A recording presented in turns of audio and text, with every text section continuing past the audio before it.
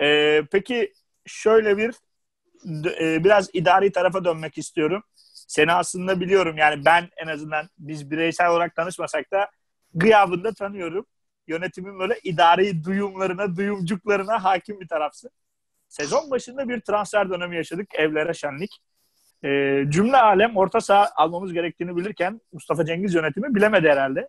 Yani William Davila isimli taşeronumuz olmasa herhalde Etobo'yu da alamayacaktık. Öyle de bir absürt evet. bir durum vardı. Ki abi de takılıyor şu anda yedek kulübesinde. Etobo da ilk maçlarda fena değildi ama sonrasında o Taylan Emre hatta alternatif Soso ve e, senin Twitter'da insanlara anlatmaktan bıkmadığın bir 8.5 numaramız var. Ne 6 oynar ne 8 oynar ne 10 oynar. E, Yunus Belanda. E, yani Etobo'yu da kenara attık. Sezon başında ne oldu? Başkanla e, hoca bir restleşti ki Galatasaray'da bu herhalde ikinciyi oluyor. Birincisi Ünal Aysal'la Fatih Terim. İkincisi Mustafa Cengiz de Fatih Terim.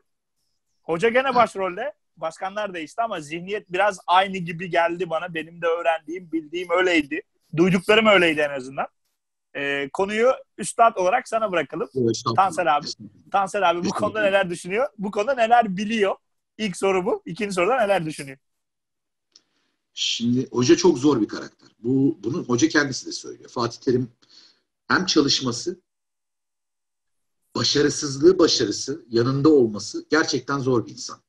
Bunu kendisi de söylüyor. Bunun üzerine tekrar konuşacağımız bir durum yok. Ama Fatih Terim'in haklı olduğu, haksız olduğu konularda eleştirme e, durumunu net bir şekilde ve cesurca hani Adanalı olalım yani şimdi konuşmada yine Fatih Terim şeklinde Adanalı olarak dedim, delikanlı gibi karşısına geçip söylemeniz gerekiyor.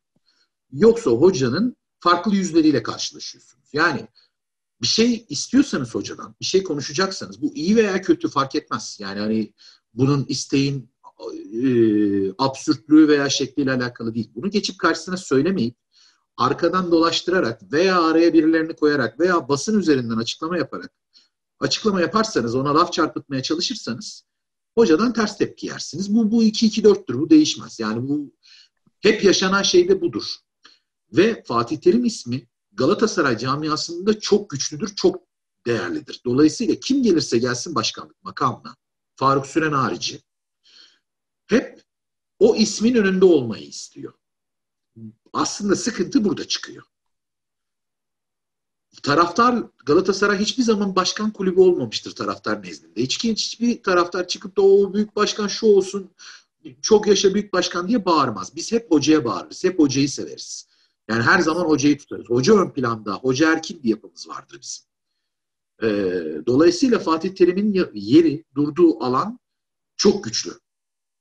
Bunu kırmak isteyenler, bazı şeylerde kendini Fatih Terim'den aslında yukarıda görüp ama aşağıda hissedenlerin bu tarz böyle bir polemiğe girdiği zaman veya arkadan iş çevirdiği zaman veya küçük küçük haber yaptırdığı zaman hoca ters tepki veriyor. Bunu ama üstü kapalı basın toplantılarında yaparak ama dil beden hareketleriyle Florya'da yaparak bunu gösterir. Zaten ya da, antrenman fotoğraflarından da anlarsınız hemen. Aynen öyle. Ya da hocanın e, bu sene ben onu hani bir e, iletişim anlamında söyleyeyim. Yani direkt böyle hedef olarak ben bu kulübün içinde 3 yıldır yokum birileri gibi cümlesi çok şey böyle hani direkt adres çok belli aslında yani. Kağıdın yani, üstüne yazın üstüne yazdı gönderdi. Sen buraya git dedi. Ya şimdi transfer nasıl oluyor? Bunu hepimiz aşağı yukarı bu kadar yıldır futbolun içerisindeki kişiler, sizler, araştırmalar, konuşmalar, muhabirler bir şekilde öğreniyorsunuz. Nasıl olur? Hocanın belli istekleri vardır. Bunlar oturulur scoutlarla beraber. Scoutlar raporlar. Bizden örnek verelim. Scout departmanı Florya'ya raporlar. Florya bunların arasında izler. Kimleri önerdiği, kimleri beğendiğini, kimleri istediğini listeler. Her bölgenin alternatifi vardır. İşte atıyorum bir bölgeye en az 10 tane adam yazılır Bunlar yönetime teslim edilir. Bunlardan alınabilen, bizim kulübümüze makul, e, maddi olarak uyan şartlardakilerin transfer edilmesi beklenir. Şimdi bu liste Nisan'da verildi. Nisan başında. Yani Hazir, hani Haziran'da o... deşifre oldu. Haziran'a kalmadı bile de zaten. Yani zaten işte bak burada başlıyor. Deşifreyle mesela hani örnekten öyle gidelim mesela. E, hocanın en uyuz olduğu şey ya niye söylüyorsun? Hani biz bununla görüşmeye gideceğiz. Orada o onu arıyor. Kendi reklamını yaptıracak, haberini yaptıracak. O muhabir arıyor, o bir şeyler yazıyor, tweet atıyor. Millet o büyük başkan çünkü biz birazcık taraftar olarak transfer odaklı biraz e, destek veriyoruz. Ne kadar açız yani transfer olsun, transfer olsun, transfer olsun falan. Seviyoruz bu işleri böyle duyum var mı? Kovalayalım, kap bildirimi geldi mi? Kaos seviyoruz biraz da. E şimdi bunu da bildiği için bazı yöneticiler ve kendilerini ön plana atmak istedikleri için bu isimleri ufak ufak ufak ufak sızdırıyorlar. E senin bire bir buçuğa alacağın adam araya giren farklı menajerlerle, elinde farklı yetki sahibi belgesi olanlarla görüşmelerden dolayı uzamaya başlıyor ve fiyat bir buçukken ikilere iki buçuklara çıkmaya başlıyor. Bu sefer ondan vazgeçiyorsun. Başka bir adama yöneliyorsun. O başka yöneldiğin adamı da yine aynı şekilde duyuruyorsun. O da oraya geliyor. Git git git git git git git. Yani bizim iki orta saha kiralık. Bir forvet kiralık. Şeyin zaten gitmiş. Diğer kiralık aldığın orta saha 6. ayda olmadan şeyde devrede Enzonzi gitmiş. Yani bunu zaten bütün menajerler biliyor senin nerelere ne alacağını. E bir de sen isim veriyorsun. Adam bu isimdekilere hemen gidiyor ki Türkiye'ye bilmem nelerine e, transferlerine karşı bir yetki belgesi çıkartıyor. E, gelsinler kucağa bakalım diyor. E senin de yönetim olarak fazla bir network ağın olmadığı için, insanlarla iletişime geçip rahat rahat bazı şeyleri bitirme gücün olmadığı için kadrolu mühendis arkadaşımız William Davila'nın kucağına oturuyoruz. O ne getirirse onu alıyorsun. E, hoca da bunu surat ifadeleriyle, açıklamalarıyla yaptığı zaman ondan söylüyorlar ya Fatih Terim kimseyle anlaşamıyor. Ya ben de diyorum ki şunu. Evet Fatih Terim zor bir insan. Eleştirelim, eleştirmeyelim de asla bir şey söylemiyorum ki eleştiriyi çok seven bir yapısı vardır Fatih Terim'in. Oturup konuşmayı, yeni fikirler dinlemeyi çok sever. E, bu adamın etrafındaki başka sebepleri bırakmadan yani istediği adamı zamanında al çıkar koy. Sonra de ki e kardeşim biz istediği bütün transferleri yaptık. Bu takım top oynamıyor de. Hem istediklerini yapmıyorsun. Hem hocanın sevmediği hareketleri yapıyorsun. Ondan sonra çıkıp ya ben de böyle oynanmasından çok rahat değilim aslında. Çok memnun değilim. İşte biz çağırırız koşa koşa gelir falan. Hani böyle ince ince laf soktuğun zaman hoca da dolayısıyla aynı Ünal Aysal zamanında olduğu gibi burada da restleşmeler ufak ufak başlıyor. Ama Fatih Terim'in bu döneminde en az iki ya da üç kere istifa etme noktasına gelip de istifa etmemesinin tek sebebi de biz taraftarlara verdiği söz. Ee, bu sefer Galatasaraylılara bir söz verdim ve bunu defalarca söylemesine rağmen e, onlar da hani kovamıyorlar. 2-3 kere 2-3 kere basın toplantısında hoca söyledi zaten. Hatta bir kere geçen sene Şampiyonlar Ligi maçı öncesiydi yanılmıyorsam. Şey dedi yani bazen öyle bir noktaya geliyorsunuz ki taraftara sözüm var dedi. Orada net yani ne yaptığı net. Ozan konusu keza öyle bir önceki sene. Ozan Kabak e, transferini açıklarken de öyle söylemişti. Ki Ozan'da ironik yanı hoca Instagram hesabından Ozan'la bir yıl daha Ozan'la birlikteyiz diye e, bir paylaşım yapıp üç gün sonra Ozan'ı sattık. Tamam e, çok güzel bir paraya sattık. Kesinlikle kabul ediyorum. Hani amenna hiçbir sözüm yok ama yani adam bir plan yapmış biz o planı baltalamakla uğraşıyoruz. Yani yönetim tarafında hani ben de e, sonuçta hepimiz bir yerde çalışıyoruz. Bir şirkette bir yer maaşlı elemanız. Hani o Galatasaray'da efsane bir söz var ya yani teknik direktör maaşlı elemandır kardeşim. Ünal Aysal'ın sözüydü. E, evet hepimiz maaşlı elemanız ama benim yöneticim benim arkamdan işte benim kuyumu kazarsa o maaşlı eleman da şey diyor yani başlarım yapacağınız işe diyebilir ki hoca e, az evvel senin de söylediğin gibi bence hani kendi adıma söyleyeyim evet Galatasaray'daki birçok başkandan daha güçlü figür olarak yani isim olarak ben Galatasaray taraftarının hani klasik goy goy büyük başkan Ünal Başkan işte büyük başkan Mustafa Başkan goy goylarından ziyade hani hiçbir zaman böyle ne bileyim tribünün belki senin yaşın daha büyük abi benden hatırlar mısın bilmem ama Faruk Süren diye bağırdığını, Mehmet Cansun diye bağırdığını ben hiç duymadım, görmedim. Yani ya, kadar hiç bağırmadık. Şeyde büyük başkan bir kere böyle bir hani onu da onur etmek için bağırılır ama onun haricinde böyle maçlarda işte öyle bir şey bizde yoktur. Öyle bir kültürü yok Galatasaray tribünde. Yani Mancini, yani. Mancini döneminde örnek veriyorum işler kötü gittiğinde 40 bin kişi Fatih Terim diye inledi. Ee, ne bileyim Tudor zamanı e, Başakşehir'den 5 yediğimizdeki liderdik o dönem.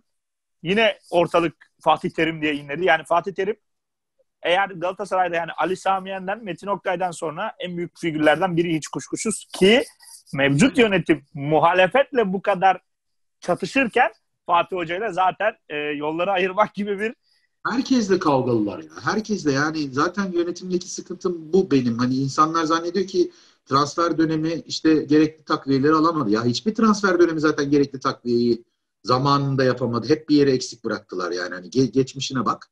Zaten hep öyleydi. Doğru. Benim transferle bir alakam yok ki. Benim sıkıntım bu. Herkesle kavgalılar. Camia içerisinde hocayla, hocayla zaten 5 yıldan 3 kere açıklama yaptılar. 15 yıllık anlaşmamız olması lazım. 3 yıl çıktı. Bu sene bitiyor hocanın sözleşmesi. 3 yani, artı 3 mü? 3 artı 2 mi ne opsiyonu var galiba? 3 artı 3 artı 1 artı 1 gibi bir şey. Evet. Peki hazır yönetime değinmişken, ucundan dokundurmuşken e, yayının son bölümünde Galatasaray'ın bir seçime gidememe durumu var. E, tabii ki idare ibrasızlık, mali ibrasızlık. İdare ibrasızlığın da aslında iyi kötü neden geldiğini de biliyoruz. Maalesef Galatasaray böyle bir camia. Hiçbir şekilde e, inanılmaz kulislerin oldu. Çok sevdiğim abilerim var. Hani başkan adaylarını bile çok sevdiğim abilerim bazı isimler. İsim vermek istemiyorum. Burada konuk ettiğimiz abilerimizdi. Ee, ama maalesef Galatasaray'da farklı bir kulis var. Fenerbahçe gibi değiliz örneğin. Yani Fenerbahçe'de Ali Koç'un bu kadar e, yani böyle 30 bin oyla gelip iki senede neredeyse küme düşmenin ucundan dönmesi Galatasaray'da olsa yani Galatasaray Lisesi'nden falan indiririz o başkanı. Yani hiçbir şey, şey yok. Basarlar. Yani kulüp binasından alırız yani. O kadar net konuşayım. Ee, ama Mustafa Cengiz yönetimi farklı bir olay tabii ki. Yaşananlar çok ayrı bir seri var ama seçime gidemiyoruz. Şimdi koronavirüsten dolayı da gidemiyoruz. Ee, beklenen seçim Aralık ayındaydı ama şahsi fikrim yapılamayacağı yönündeydi ki İçişleri Bakanlığı'nda yapamayacak, yapamayacak diye bir karar yayınladı. Ee, peki yani ne olur? Mayıs ayında önümüzde bir seçim var. Hani şimdilik Şubat'a Mart'a ertelendi gibi deniyor ama şahsi beklentim Galatasaray'ı birazcık biliyorsam tanıyorsam Mayıs ayında olağan seçimli genel kurulla yapılır diye düşünüyorum. Ee, öncelikle acil şifalar Allah sağlık sıhhat versin. Amin. Mustafa Cengiz'e hani çok zor bir süreç e, yani başkanlığı bırakıyorum sağlık anlamında söylüyorum. Zor bir sürecin içinden geçiyor ama başkan da herhalde seçime aday olacak gibi bir intiba sezdim ben. Eğer Öyle. ilerleyen dönemde bir sağlık problemi yaşamazsa İnşallah. sen İnşallah. ne düşünüyorsun? Galatasaray seçimleri ya da Galatasaray'ın seçime gidememesi diyelim ve toparlayarak yayını kapatalım. Ee, çok güzel bir noktaya değindin. Asla Galatasaray hiçbir camiaya benzemeyen, çok demokratik, e, vasata tahammülü olmayan bir camiayız biz. E, divan kurulu toplantıları olur. Çıkarlar. En yakın arkadaşları, sıra arkadaşları eğer yönetimdeyse hakaret olmaz ama ya resmen rezil edecek şekilde çıkarlar, eleştirirler birbirlerini, konuşurlar. Dersin ki ya bunlar kesin birbirini öldürecek. Divan biter veya olan seçimli genel kurul biter. Kol kola girerler, giderler, çaylarını, kahvelerini, rakılarını, viskilerini içerler. Olay biter. Çünkü Galatasaray için birbirleriyle konuştuklarını bilirler. Galatasaray'ı Galatasaray yapan bir numaralı değerlerden bir tanesi budur. Bu değeri maalesef biz son iki buçuk, üç senedir e, diyelim dört buçuk, beş senedir diyelim kaybettik. Bundan dolayı da bazı ibrasızlıklar veya seçime gitmeler, gidememeler, mahkemeye vermeler, Galatasaray'ı mahkeme kapılarında süründürmeler devam ediyor. E dediğin gibi de bir seçime gideceğiz gibi böyle bir, bir şeyler açıklandı ama ne bir başvuru varmış ne bir şey vardı zaten kendi kendimize onu da iptal ettik. Dediğin gibi Mayıs'ı bekliyoruz. Mayıs'ta büyük ihtimalle Sayın Metin Öztürk, Sayın Burak Elmas ve etrafına söylediği ve kendisinin konuşmalarından da anladığımız kadarıyla Sayın Mustafa Cengiz aday olarak çıkacaklar. Ama bunun öncesinde tabii bir İBRA e, idari ve mali olarak İBRA oylaması yapılacak. Orada işlerin birazcık karışacağını düşünüyorum ben. Ee, sanki Mustafa Cengiz'e bir şekilde o bu yönetimde olan kişilerin herhangi bir şekilde aday olması veya yönetimlerde bulunması na engel bazı e, İbrasızlık bekliyor musun? Tabii bekliyorum. Çift ibrasızlık bekliyorum hem de. Hem mali hem Mal, idari. Mali Galatasaray'da çok e, görülmemiş bir şey yani olursa. Yok tarihte ilk olacak zaten. Yani öyle bir işte şey yani. Bekliyorum. Ama bu biraz e, şey olarak söyleyeyim. Hani kendi adıma söyleyeyim. Ben Cengiz'i ilk geldiği zaman hani Sayın e, Özbek faciasından kurtulduğumuz evet. dönemde hani Cengiz'i destekleyen birisiydim açık açık ben söylüyorum. Bunları hiç base duymuyorum. Ben de aynı şey. Ee, yani eğer Dursun Özbey mali anlamda ibra eden Galatasaray Kongresi sırf kişisel uğur, uğur yani çıkarlar uğruna deyip e, Cengiz'i ibra etmezse biraz şey olur. Yani hakkaniyetsizlik olur. Nerede yaşanmışsa olur. yaşanmış. Olmaz diyemezsin ama işte buralara gelme şeyini Galata camiayı bilmemek böyle bir şey işte. Camiayı, evet, camiayı oku, okumak gerekiyor. Camiayı Aynen. okumak gerekiyor. Camiayı bilmezseniz eğer oraya gidiyor iş. Yani kendi yönet kendi üyelerinle sürekli böyle yani kendi camiana aslan dışarıya kedi olursan gerekli kişilere gerektiği gibi davranmazsan o demokratikliği, divan kurulunun önemini, divan başkanına saygıyı ya divan başkanı asla gelip sana saygısızlık yapmaz, yapamaz. Burası Galatasaray. Yapmaz. Divan başkanı o, ama omuz attı falan filan böyle küçük küçük şeylerle hani böyle gereksiz yerlere gidersen işte bu oluyor. Yani Galatasaray'ın benim sevdiğim yanı bu. Ya yani gözünü yaşına bakmazlar. Tarihte ilkmiş falan filan dinlemezler yani. O konuda kesinlikle katılıyorum. Galatasaray diğer kulüplerden ayıran detay da o ama e, kendi naçizane bir görüşüm. Hani Eşref Hamamcıoğlu'nu tanımam bilmem. Cengiz'i de yani Mustafa Bey'le asla görüşmem yani. Birebir görüştüğüm birisi değil asla. E, ben divan başkanının çok muhalif olduğunu görüyorum yani son zamanlarda. Galatasaray'da Herkes çok denk... Birebir. Ama o şeydir. Divan başkanı kim olursa olsun bu kadar değildi. Muhaliftir. Tansel abi bu kadar değildi ya. Hani aslında bu kadardı da bu yönetim daha fazla gözümüze soktuğu için hani daha fazla bundan nemalandığı için diyeyim yani hani bizlere evet. sürekli oraya şikayet ettiği için dikkat çektiği için bu. Ben yıllardır divan toplantılarını izliyorum yani Eşref Bey yine ciddi söylüyorum eski divan başkanı olarak da daha kibar daha hani böyle tatlı tatlı konuşarak gidiyor yani. Öbür divan başkanlarının umrunda olmuyordu yani hani böyle çat çat çat evet. yani hani hiç şey evet, yapmazlar. Evet. Eski divan başkanı da Ünal Aysal'la vakti zamanında bayağı bir gayrimenkul konusunda biraz yani, konuşmuşlardı onlardan. Hani şimdi şimdi daha fazla gözümüze çarpıyor. Daha fazla görüyoruz. Birazcık da bu yönetim bak bize böyle yapıyorlar falan diye sürekli orayı işaret ettiği için daha çok dikkat çekiyor. Benim gözlemim bu. Ee, şöyle belirteyim. Ozan Ozan abiyle, Ozan Bey'le daha doğrusu Ozan Korkut'la bir röportaj yapmıştık. Ozan Bey şey demişti yani genel kurul üyeleriyle bu kadar kavga edip daha sonra da ben mağdurum demek çok da düzgün bir açıklama olmuyor demişti ki gerçekten de katılıyorum. Yani bir Galatasaray özellikle yani Fenerbahçe gibi veya Beşiktaş gibi böyle 50 bin kongre üyesi falan yok. Hani 7-8 bin hatta 13-14 bin ama aktif bir fil 7-8 bin belki. Ee, hani 7 bin yani 7 bin yani 5 bin diyelim 5 bin komün kişi community varken orada hani 5 binin 4 biniyle kavga edip ki 2200 oyla geldiniz bu çok önemli bir detaydı. Çok büyük bir farktı. Ee, hani Cengiz'in aldığı destek oranında söylüyorum ki hani elbette içeride insanlar tanıyordur ama dışarıda taraftar hiç tanımıyordu. Örnek veriyorum Ünal Aysal gelirken İnan Kıraç resmen işaret etti Ünal başkan olacak dercesine ama Cengiz'i öyle gösteren birisi de yoktu. Ama Dursun Özbey'e rağmen ki Dursun Özbey'in sıra arkadaşlarından oy alarak Mustafa Cengiz seçilmişti o dönem. O bir tepki oyuydu. Ama maalesef biraz e, bazı şeyler hani birbirine karıştı diyerek şey yapalım. Peki e, yayının sonuna gelirken şöyle direkt isim soracağım. Benim şahsi önerim saydığın az evvelki isimler eğer aday olursa ben Faruk Süren etkisiyle Burak Elmas seçilir diye Benim işim gereği ben do- dolaylı olarak Burak Bey'le e, Sayın Burak Elmas'la çalıştım. E, onun kendi Godiva CEO'luğu döneminde e, Sayın Dursun Özbek döneminin bitişinde e, adaylığı söz konusuydu. Öyle bir iki isim çıkmıştı.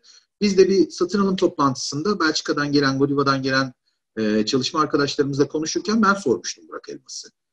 Ya bizim öyle bir şeyimiz yok. Hani kendisi Godiva'nın CEO'sudur. Öyle bir planımız yok. Hani aday olduğu zaman e, istifa etmesi gerekiyor bütün görevlerinden. Hayır öyle bir bizim bir tasarrufumuz yok. Biz kendisiyle devam ediyoruz. Çok da me- mutluyuz.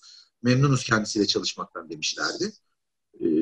Sonrasında benim bu merakımı işte Burak Elmas'ı dolaylı yoldan ismen bildiğimi ve Galatasaraylı olduğumu e, anlayınca her geldiklerinde gittiklerinde böyle e, dolaylı olarak konuştuk Burak Elmas hakkında.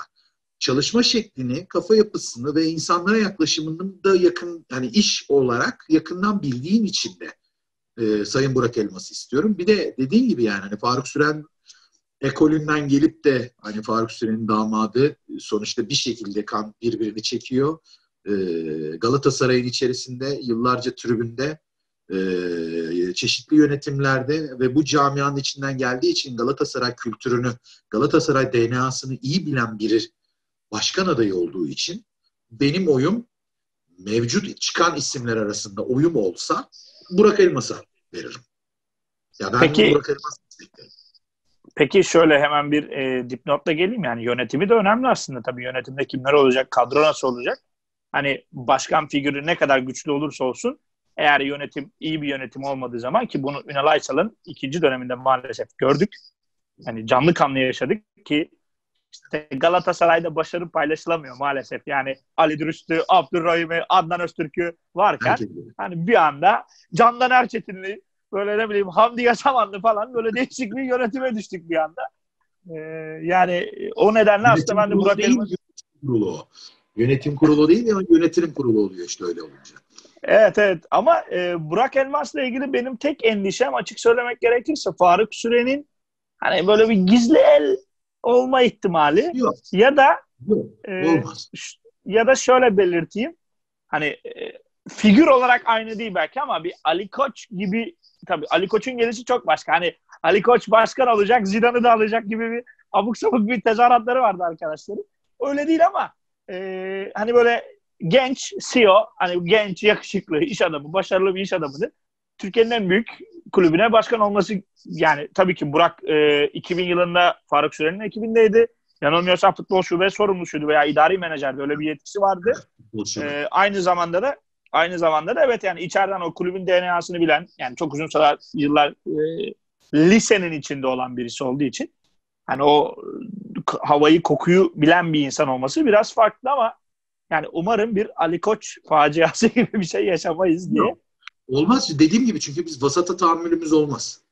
Yani evet. böyle gidişatını görürsen işler değişir. Yani müdahale edilir zaten. Bak bunları onları yanlış yapıyorsun diye müdahale edilir. Her yönetime müdahale edilir. Bu bir tek onunla alakalı değil. Bu yönetime de yön göstermek için bazı abiler, bazı kişiler gittiği zaman Galatasaray DNA'sının özelliğini onun için söylüyorum. DNA'sını biliyordan kastım o. Galatasaraylı bir abi geldiği zaman abi denir büyüklere. Başkana geldiği zaman başkan yine o başkandır ama o abidir, bilinir. Herkes yerini, durması gereken hududu, konuşma şeklini bilir. Ona göre söylediği zaman da dinler ve hatalarından ders alır. Galatasaray bunu gerektirir. Ama biz maalesef bu dönemde, bu yönetimde bu söylendiği zaman sanki bu kötü bir şeymiş gibi algılanarak ve tukaka yapılarak bu noktalara geldiğimiz için de ben Sayın Burak Elmas'ın gelmesini istiyorum. Bu noktaya Peki. inşallah başarılı olur. Peki e, bir duyum alırsak o zaman abi artık kazan dairesinde mi açıklarsın? Bizde mi açıklarsın? Biz mi seni burada açıklatırız? Bir fikrim yok ama Burak Elmas'la ilgili. Yani umarım yönetimi e, güçlü isimlerden oluşur diye ümit edelim. Ya şu anki ibre bayağı rüzgar Burak Bey'in arkasında camiada. Şu an öyle görünüyor.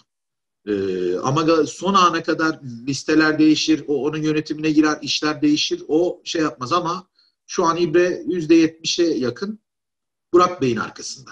İnşallah da öyle devam eder. Çünkü benim gönlüm Burak Bey'den yana. Hayırlısı olsun. Peki e, Tansel abi öncelikle yayına katıldığın için, değerli e, keyifli ben sohbet için ben çok teşekkür ederim.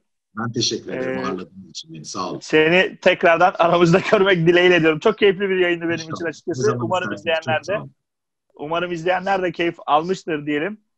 Ee, eski açın sonuna gelelim. Söylemek istediğin varsa bir son cümlen yayını kapatalım. Buradan tüm FSM e, ve eski açık ekibine, sana, Can'a, hepinize çok çok saygı selam. Dinlediğiniz için çok teşekkür ederim.